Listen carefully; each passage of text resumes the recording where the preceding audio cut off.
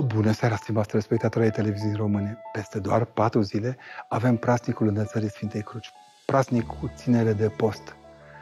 Și pentru a ne aduce aminte de jertfa crucii și de faptul că, de fapt, toate duminicile și toate zilele noastre se cer a fi ținute după cruce. Astăzi, în duminica dinaintea înălțării Sfintei Cruci, am prăznuit Evanghelia aceasta binecuvântată de la Ioan, capitolul 3, versetele 13-17, patru versete în care Nicodim merge la școală.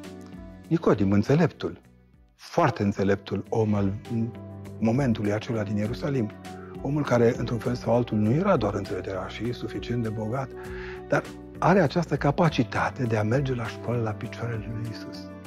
Și află despre nașterea din nou, din apă și din Duh, despre nașterea din nou care până la urmă este fundamentul nădejdii noastre creștine, pentru că învață despre botez, despre modul în care murim și înviem cu Hristos prin crucea lui Hristos.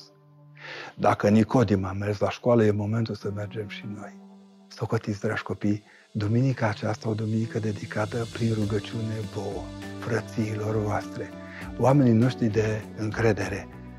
Încercați să înțelegeți, la școală nu mergeți doar să vă vedeți unii cu alții, ci și să stați la picioarele Mântuitorului Hristos.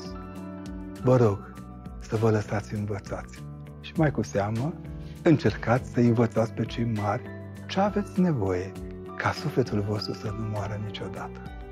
Îndrăznesc să spun, în ultima meditație din săptămâna aceasta de la zi de zi dedicată școlii, cadrelor didactice, învățători, profesori, celor care munciți cu adevărat pentru școală, să nu vă fie niciodată rușine.